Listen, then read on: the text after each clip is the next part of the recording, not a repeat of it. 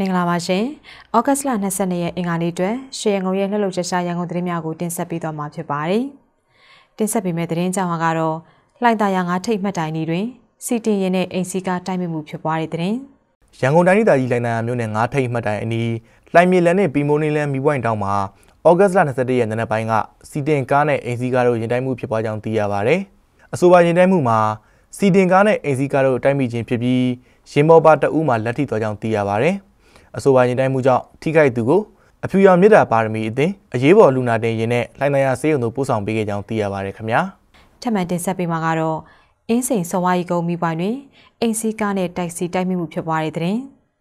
ရန်ကုန်တိုင်းအင်းစိန်မြို့နယ်စောဝါကြီးကုန်းရက်ကွက်စောဝါကြီးကုန်းမိပွိုင်တွင်ဩဂတ်စ်လ20ရက်ည9နာရီခွဲခန့်ကအိမ်စီကားနဲ့တက်စီတိုက်မိခဲ့ကြောင်းသိရပါတယ်။အခင်းဖြစ်ပြီးချိန်မှာဒဏ်ရာရရှိတဲ့လူတွေကိုမြေပြင်ကူတာမှုတွေလုပ်ပေးနေရတဲ့အတွက်ဖြစ်စဉ်ကိုသေချာမမေ့ပြလိုက်ပါဘူး။ အိမ်စီးကားနဲ့တက်စီခေါင်းညင်တိုက်မိတာပါမျက်နှာချင်းဆိုင်မဟုတ်ပါဘူးဘေးဘက်ခေါင်းချင်းမှလို့လူမှုကူညီရေးအသင်းဝင်တအုပ်ကပြောပါရယ်ဖြစ်စဉ်တွင်အမျိုးသားနှစ်ဦးမှထိခိုက်ဒဏ်ရာများမစိုးရရရှိခဲ့သဖြင့်မြေပြင်ကူတာမှုများပြုလုပ်ပေးပြီးနောက်အင်းစိန်မျိုးနဲ့ပြည်သူစေုံတို့ပို့ဆောင်ပေးခဲ့ကြကြောင်းသိရပါရရှင်ဆက်လက်တင်ဆက်ပေးမှာကတော့စက်သိမ်းပေါင်း3300ကျော်တန်မှုရှိတရားမဝင်သင်များလူသုံးကုန်ပစ္စည်းများလုပ်ငန်းသုံးပစ္စည်းများနဲ့ရှင်များတင်စီရမိတဲ့တဲ့ တရားမဝင်ကုန်သွယ်မှုတိုက်ဖျက်ရေးဦးဆောင်ကော်မတီရဲ့ကြီးကြပ်ကွယ်ကဲမှုဖြင့်တရားမဝင်ကုန်သွယ်မှုများကိုဥပဒေနှင့်အညီထိရောက်စွာတားဆီးအရေးယူနိုင်ရေးဆောင်ရွက်လျက်ရှိရာယခုလ၄ရက်အတွင်းကျပ်သိန်းပေါင်း3300ကျော်တန်ဖိုးရှိတရားမဝင်တင်မျိုးစုံလူသုံးကုန်ပစ္စည်းများလုပ်ငန်းသုံးပစ္စည်းများနဲ့ယာဉ်များတင်စီရမိခဲ့ကြောင်းသိရပါဗျ။ဩဂတ်စ်လ16ရက်အတွင်းရန်ကုန်တိုင်းဒေသကြီးတရားမဝင်ကုန်သွယ်မှုတိုက်ဖျက်ရေးအထူးအဖွဲ့ရဲ့စီမံခန့်ခွဲမှုဖြင့်တာဝန်ကျပူးပေါင်းအဖွဲ့ကစစ်ဆေးမှုများဆောင်ရွက်ခဲ့ရာဆက်ဆန်းရက်ကွက်အထက်ပစုံအောင်လန်း အမှတ်228ရှိဥစော်နိုင်မိဆက်ရောင်းဝယ်ရေးဆိုင်မှာတွင်းကုန်ကြီးညာလွှာတင်ပြနိုင်ခြင်းမရှိတဲ့ SAWA 12000 brand new generator 18လုံးပါဝင်ကုန်ပစ္စည်းအမျိုး20ခံမှတ်တန်မှုငွေကျပ်ကျပ်သိန်း240တဲ့3000ကိုတင်စီရမိခဲ့ခြင်းဖြစ်ကြောင်းသိရပါတယ်ခင်ဗျာနောက်ထပ်တင်ဆက်ပေးမှာကတော့မိုင်ကိုအားအစ်စ်မီအောင်လှုပ်ထားတော့လဲလိုက်နာမှုအားနေတဲ့တဲ့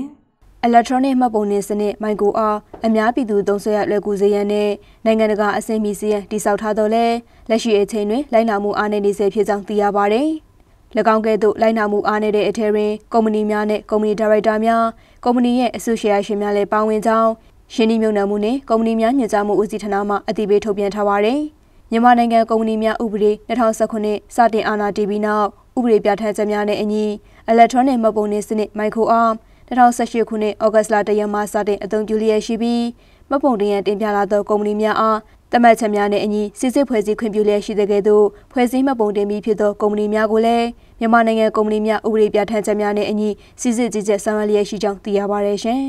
။ဆက်လက်တင်ဆက်ပေးမှာကတော့ပြည်ပထွက်ခွာသူများနိုင်ငံခြားငွေသားဝယ်ယူနိုင်ရန်ရန်ကုန်လေးစိတ်ရှိဘဏ်ကောင်တာတွေရောင်းချပေးမယ်ဆိုတဲ့တဲ့ရန်ကုန်လေးစိမ့်မှတစဉ်ပြည်ပသို့အမှန်တကယ်ထွက်ခွာမိသူများ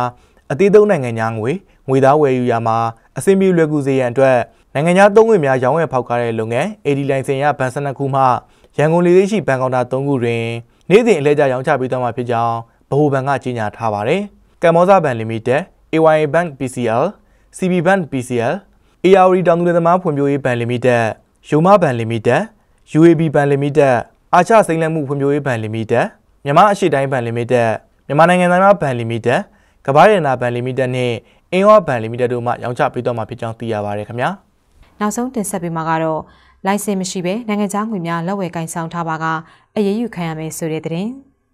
အများပြည်သူများအနေနဲ့ခွင့်ပြုချက်လိုင်စင်မရှိဘဲနိုင်ငံခြားငွေများလက်ဝယ်ကင်ဆောင်ထားပါကနိုင်ငံခြားသုံးငွေစီမံခန့်ခွဲမှုဥပဒေအရအရေးယူခံရမယ်လို့ဗဟိုဘဏ်မှနိုင်ငံခြားသုံးငွေကင်ဆောင်မှုနဲ့ပတ်သက်ပြီးဩဂတ်လ20ရက်ကကြေညာကြောင်းသိရပါဗျ။ဗဟိုဘဏ်မှနိုင်ငံခြားသုံးငွေစီမံခန့်ခွဲမှုဥပဒေပုံမှန်9အရ